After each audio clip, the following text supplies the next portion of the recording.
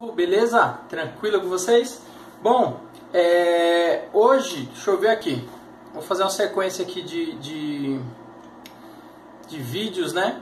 E, e dessa vez eu vou fazer o desenho de um búfalo, tá? É, eu tô fazendo meio que aleatório, né? Então eu tô pegando meio que um tema, sei lá, tipo animais. Então eu vou fazer o desenho de vários animais. Então vocês vão acompanhando, vou jogar tudo aqui no meu sketch, né? É, vou fazer os desenhos, vou jogar tudo no meu sketch aqui e vou estar tá mostrando para vocês como é que vai ser a, a, como vai ser o procedimento de como eu faço.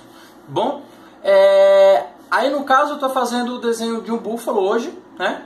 E vocês vão acompanhando aí o procedimento de como vai ficar, beleza? Vou mostrar o passo a passo, vou dando algumas dicas, né? Como eu sempre falo, não sou professor, né?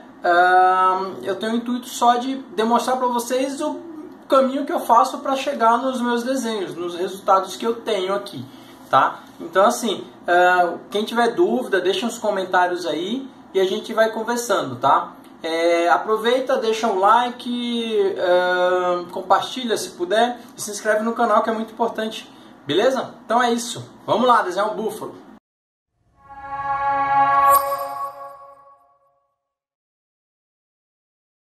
Aí a gente vai começando a rabiscar, né? Sempre com um lápisinho. O lápis pode ser qualquer um, né, gente? Precisa ter muita exigência não para lápis, né? Pode ser uma lapiseira e tal. Esse lápis é... Como eu, como eu faço muito evento de caricatura e tal, eu quase não uso lápis, eu uso direto caneta né, para agilizar o procedimento. Então eu tenho, eu tenho uma coleçãozinha desses lápis aí, uh, só que eles estão basicamente novinho, né? estão tudo novinho aqui. Eu uso bem pouco. Né? Aí para o sketch, uh, para quem veio acompanhando aí no começo, eu estava usando muito caneta, né? Daí agora eu passei a usar o lápis para para poder ter mais liberdade de, de, de poder errar no traço e tal. Então, como sketch o objetivo, pelo menos para mim, é, é realmente de estar tá aprendendo aí, né? E ao mesmo tempo que eu aprendo, eu dou uma, né, eu posso tentar dar umas dicas aí para vocês, né? Aí eu vou rabiscando, você vê. Né? Eu vou definindo ali, fazendo o nariz do bichão aí, do búfalo. A gente para, dá uma analisadinha, é sempre bom, né? Lembrando que eu estou usando uma referência, né? A referência eu deixei no computador e tal. Mas eu não, não vou fazer aquele retrato fiel do, do desse búfalo, né? Então eu vou eu vou incrementar algumas coisas, deixar mais traço e tal, né? Então tentar jogar um estilo aqui no estilo próprio uh, em cima de, um, de uma foto, né? Que eu encontrei na internet.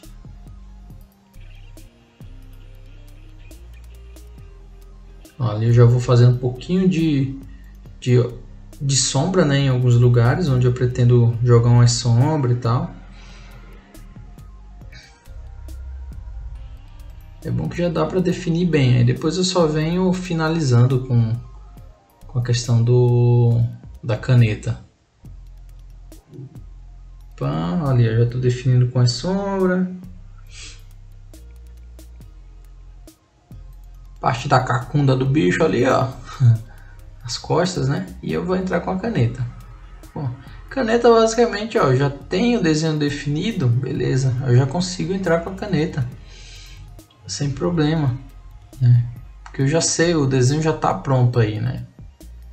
É claro que existe a possibilidade de algum erro e tal, mas faz parte, né? Bom, daí eu vou fazendo o chifre do bicho ali, pá. E esse chifre é muito louco, né? Você vê, parece um, um parece um cabelo, sei lá, meio de ladinho ali, né?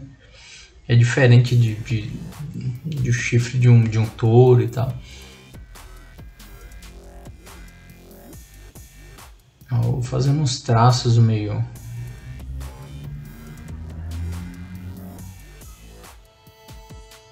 mas para para como posso dizer para para deixar o desenho diferentão mesmo, né?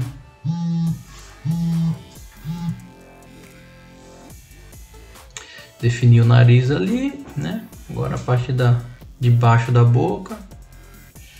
Então tem muita coisa ali que, por exemplo, eu não, muitas vezes não sei exatamente o que fazer. Mesmo que eu tenha feito a marcação, eu não sei se eu já entro com a caneta mesmo e tal, né?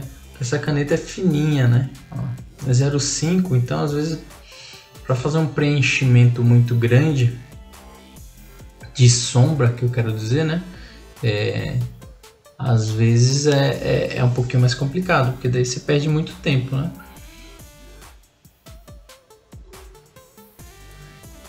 Ó, vou fazendo uns traços meio quadradão e tal. Aí eu fiz meio que um uma reta, né? para fazer um acabamento legal, meio que um requadro ali, né? Eu acho interessante.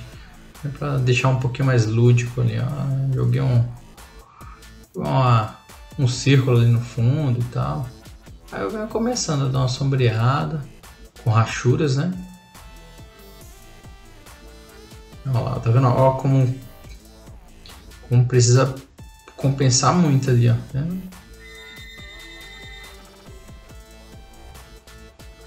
precisa compensar muito para para deixar escurão.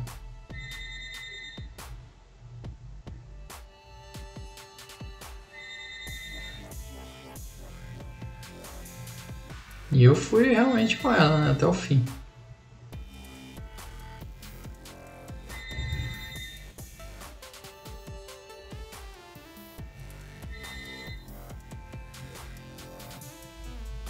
Ó, tá vendo? Jogo de lado ali para poder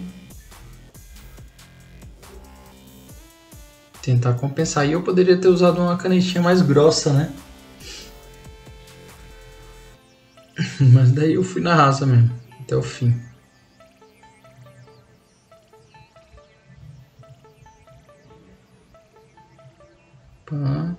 Ela preenche bem. Mas a questão é a demora, né? Ó. E sem contar que deve ter acabado quase por completo, né? Essa caneta aí. Bom, aí eu comecei a fazer o... o... Você vê que eu, eu vim pre preenchendo primeiro o escuro mesmo, né? Onde tem pretão mesmo, eu, eu vim compensando, né?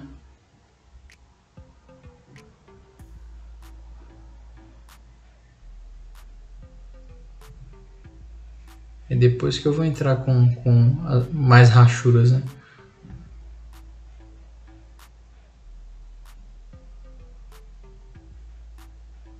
Parte das costas ali do bicho. Bom, aí tem uma textura bem diferente, tipo... É bem, bem enrugado assim, sabe? Bem judiado parece, né? O pelo do, do búfalo.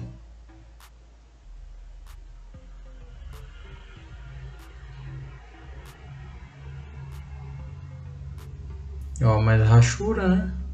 Pá. É, nesse caso aí eu vim mantendo o único sentido, né?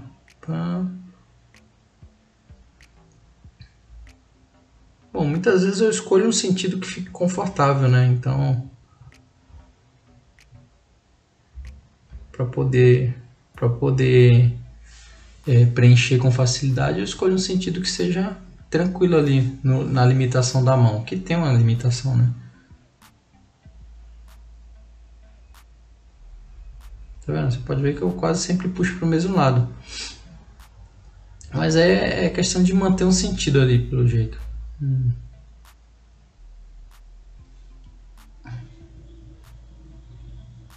Jogando umas texturas e tal.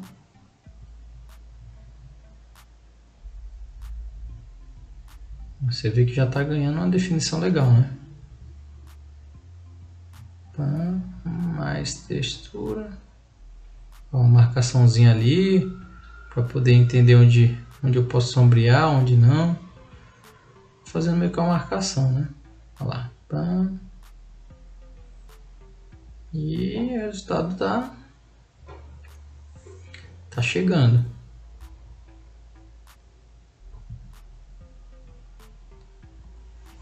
Ó, a gente tá quase finalizando aí.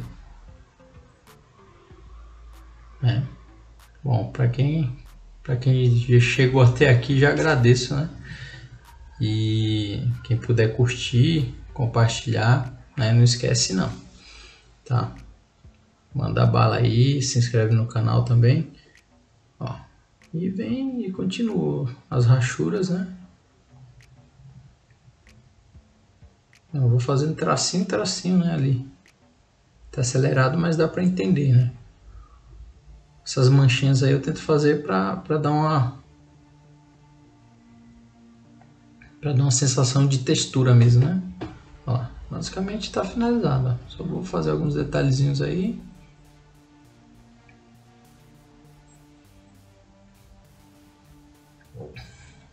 Para poder ir fechando mesmo. Bom, basicamente é isso. Tá. Espero que vocês tenham curtido aí. Beleza? E vamos continuar aí com os sketches. Assim que tiver novidade, vai, vai acompanhando no canal aí. A gente vai se falando. e deixem comentários aí também, ajuda pra caramba, tá? Aí, ó, um pouquinho mais de textura para finalizar. Pã, pã. E é isso. Olha lá, fechou. Acabamos. Opa, um pouquinho mais de textura aqui. Acabou-se. É isso. Valeu!